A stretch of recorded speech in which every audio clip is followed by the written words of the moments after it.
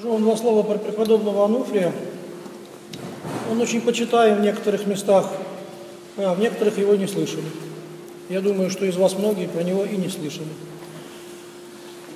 И я не знаю, есть ли ануфриевские храмы здесь у нас, где-то вот в московских пределах. Может быть, есть, но я не слышал. Э, начнем с того, что... Начнем с Марии Египетской. Э, вы помните вкратце эту канву житийную, когда говорится о Засиме, человеке, достигшем очень высокой жизни, э, проведшем в монашестве много лет, состарившемся в монашестве, и которого посетила мысль, что он лучше всех. И чтобы его смирить, он был поведен в монастырь, в котором жили братья гораздо лучше его. А из этого монастыря он ходил в пустыню молиться, в Великий пост, и он нашел ту, которая еще лучше, чем эти монахи. Есть всегда есть туда лучше. И э, для того, чтобы смирить человека, э, по-настоящему, по-хорошему смирить. То есть есть такое понятие смирить, это значит макнуть его там что-нибудь неприятное. Так, действительно по ушам надавать ему, значит, это смирить называется. А есть в хорошем смысле смирить, это показать тебе того, кто лучше. Когда ты там надуешься, подумаешь, что, о, ничего себе, вот это я дал. Значит, такой, я уже такой хороший, то или хорошая. А тебя вдруг привела и жизнь к таким, которым ты вообще не, не достоин шнурки завязывать. Тогда ты начинаешь действительно понимать, что, что вот, что значит смириться. Это значит увидеть лучшего. И не обидеться от этого зрения, не возгордиться, так сказать, с обидой не уйти, как Каин, и не убить этого лучшего, как Каин Авеля убил. Потому что когда ты видишь лучшего, бывает так, что ты еще и камень в руки берешь. Человеку нестерпимо смотреть на чужие успехи, если он горд. А если человек ищет доброго и смиряется перед Богом, то он находит тех, кто лучше его, ему хорошо. И он хочет при этих ногах сидеть и сверху вниз, снизу вверх смотреть на того, кто лучше, и слушать его. Как Марфа сидела при ногах Иисусовых и слушала Слово Его.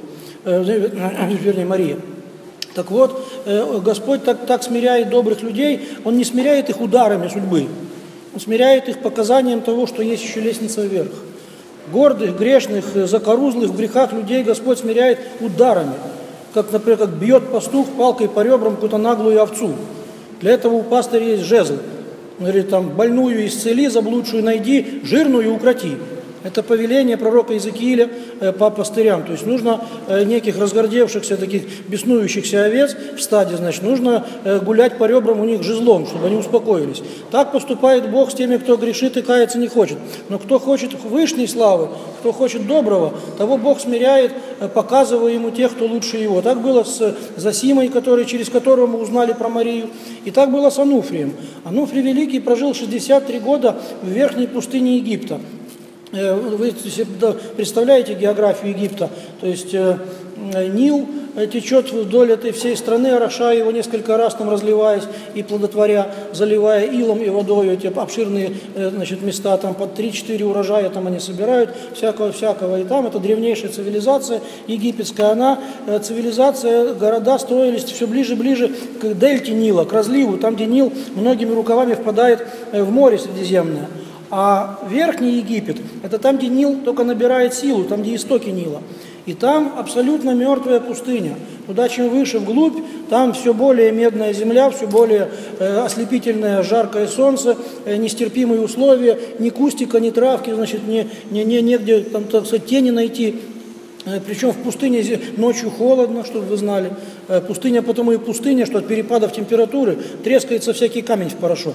То есть зимой, ночью холодно, днем нестерпимо жарко, от этих перепадов, как раз там, собственно, песок-то он оттуда и есть. Э, и вот там почти нет никого. И монахи, удивительно, они уходили все выше, выше, выше, туда вглубь этих пустынь, и там находили себе какие-то пещеры, какие-то оазисы. Оно а, ну, действительно есть и оазисы. Вот так вот идешь, идешь, такой раз смотришь, значит, такой, а там какой-то такой островок, немножко травки какой-то, одна-две пальмы растет, какой-то жур, журчит ручеек.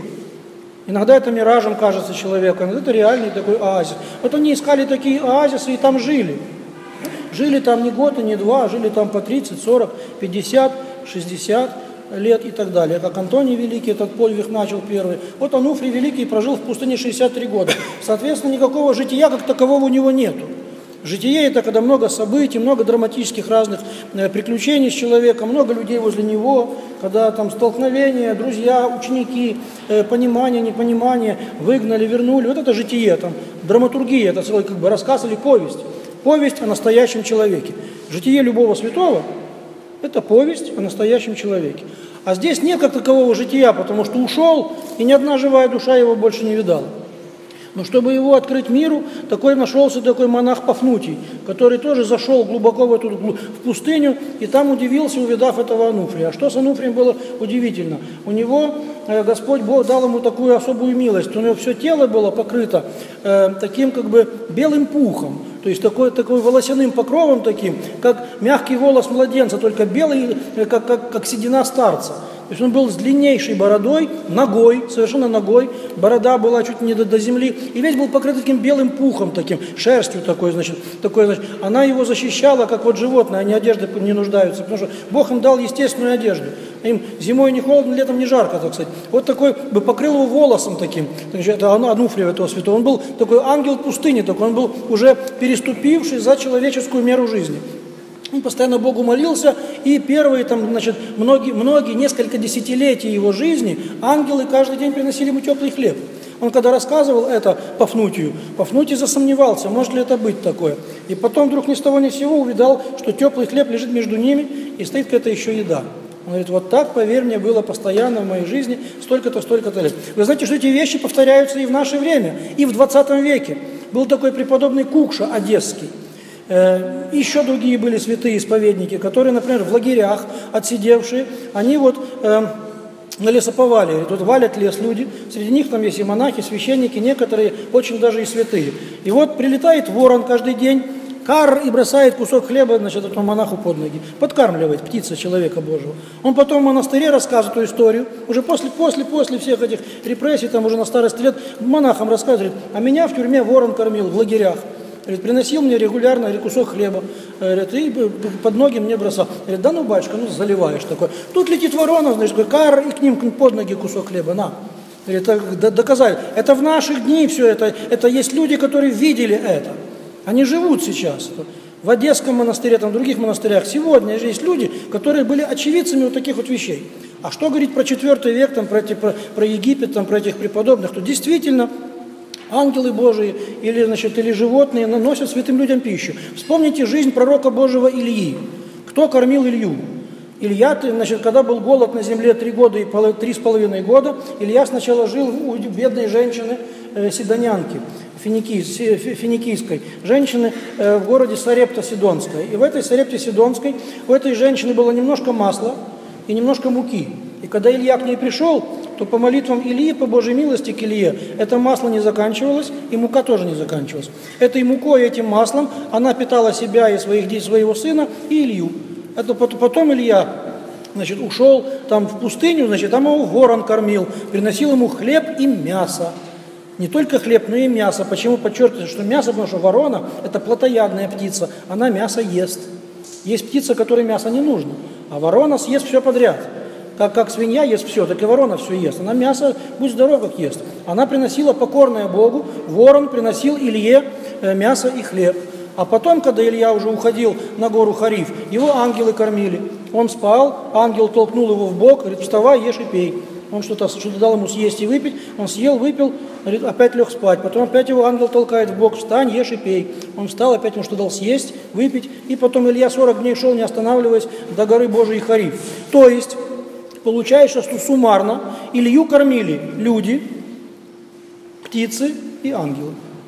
То есть и ангельский мир, и человеческий мир, и животный мир.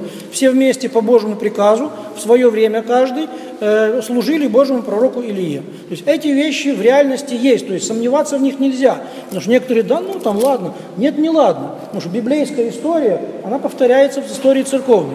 Собственно, церковная история – это и есть библейская история, и библейская история – это и есть церковная история. Это одна и та же история.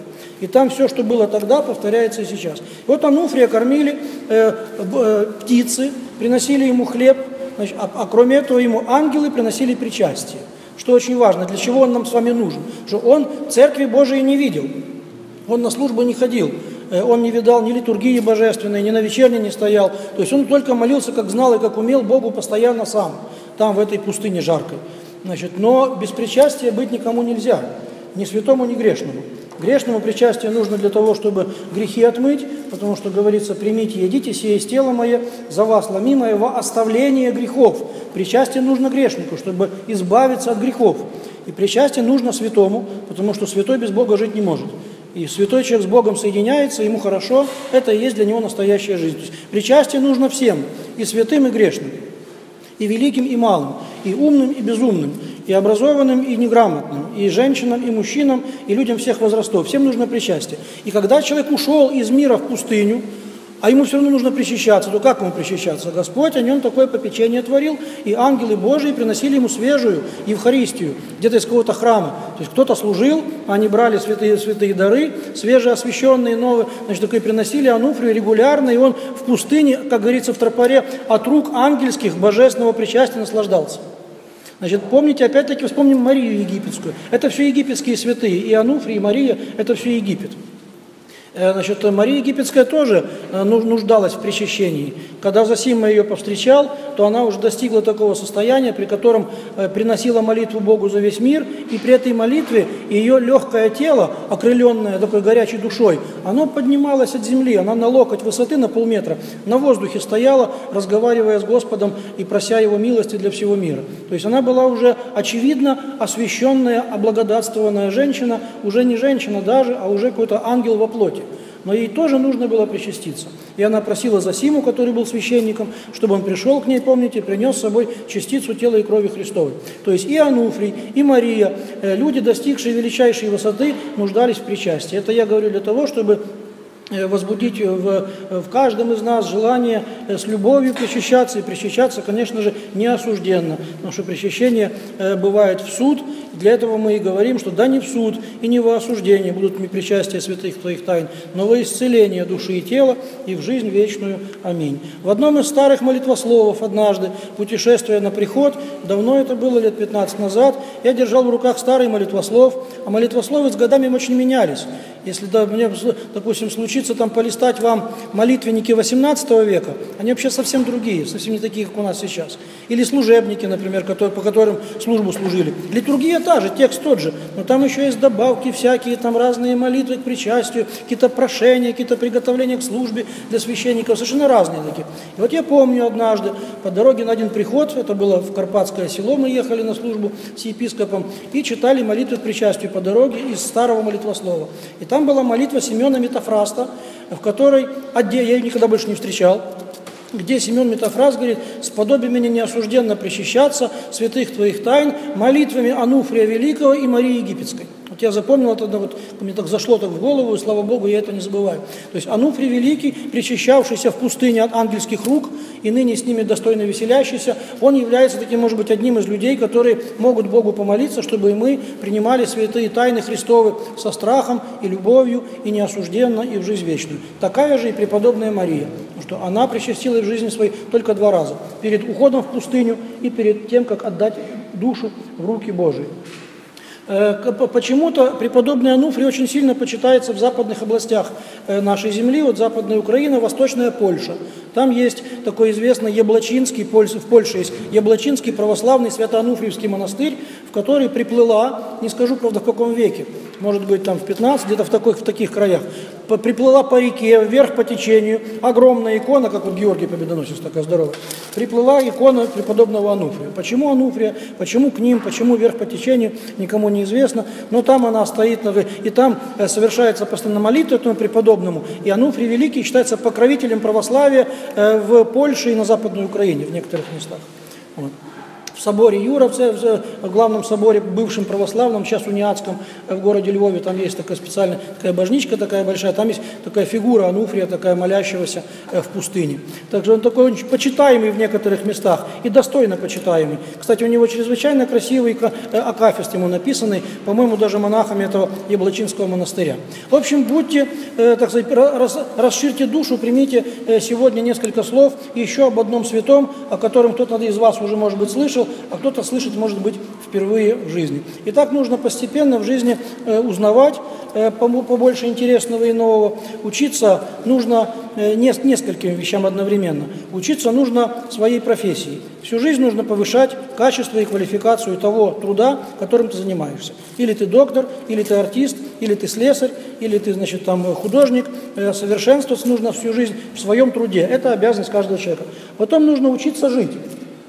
То есть просто жить, то есть имеется в виду терпеть, общаться с людьми, э, детей воспитывать, дом свой строить, как бы, значит, учиться э, правильно и незаметно, правильно, э, как можно меньше греша, так сказать, жить на свете. И нужно обязательно учиться всему тому, что связано с Церковью Божией. То есть нужно изучать церковную историю, нужно изучать божественную службу, нужно интересоваться Священным Писанием, то есть нужно накапливать сокровище духовное, которое не отнимется от человека.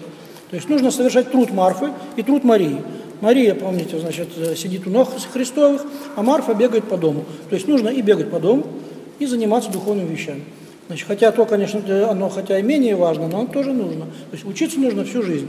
Учитесь, дорогие христиане, учитесь всегда. Э, Гоголь писал в избранных местах переписки с друзьями, об этом отдельно говорит Николай Сербский, он подчеркивает, что, говорит, что христианин – это вечный ученик. То есть в христианине должен жить юношеский дух, такая некая жажда знаний, радость узнавания, желание э, что-нибудь новое освоить, выучить.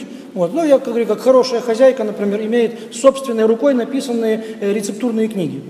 То есть не купленные в магазине, хотя купленные тоже хорошо, но есть хорошие хозяйки, которые друг у друга учатся, и вот такие пухлые тома списывают, значит, такое, как там какие-нибудь там печенье, варенье, соленья, там борщи, супы, такие сами, своей рукой. За года они превращаются в такие целые грозбухи такие. Это хорошая хозяйка. Вот такой хозяйке в гости хорошо прийти. Плохо, когда обе руки левые и ногти длинные по 7 сантиметров. Тогда, значит, она тебя на пиццу поведет, значит, в соседний подъезд, потому что сама тебе даже чаю не сварит, обожжется еще, разольет что-нибудь. Это хорошее. Вот учиться нужно, всю жизнь нужно учиться. Священнику нужно всю жизнь учиться, докторам нужно всю жизнь учиться. Пилотам, э, летчикам нужно всю жизнь учиться, для того, чтобы доктора лечили, пилоты поднимали и садили самолеты, чтобы никто не разбивался, а священники, чтобы доводили людей до Царства Небесного. Что наша задача – это идти в Царство Божие и доводить людей туда до самых ворот. Уже пустят вас туда или не пустят, это уже не наше дело. Значит, наше дело вас довести до Царства Небесного. А там будет апостол Петр стоять, и он там кому-то откроет двери, кому-то закроет, кого-то примет, кого-то выгонит. Это уже там уже дело Божие. Но мы должны вас довести до самых ворот, до ворот Царства Небесного. Или, по крайней мере, показать вам дорогу. Потому что некоторые из вас нас обгонят. Некоторые из вас будут так быстро бежать в Царство Небесное, что мы за ними не угонимся. Мы должны вам показать правильную дорогу. Я чувствую, например, знаете, как в горы идешь такой, значит, чувствуешь, что больше сил нету, а у тебя есть. Ну так беги, обгоняй меня, беги, беги быстрее меня. Это не страшно. Мне не жалко, чтобы вы все в рай вошли. То есть раньше меня, например, там, или, значит, говорю, идите, идите. Главное, что я показал вам дорогу. Вот. И вы туда вошли, и вот тогда уже это будет похвала любому священнику. Понимаете? Так что учитесь, друзья, э, и да поможет вам Господь хорошему научиться, а злое забыть. Что у нас есть злые навыки, злые привычки, злые знания – которых лучше бы не знать, конечно. Есть такие знания, которых лучше бы у нас не было.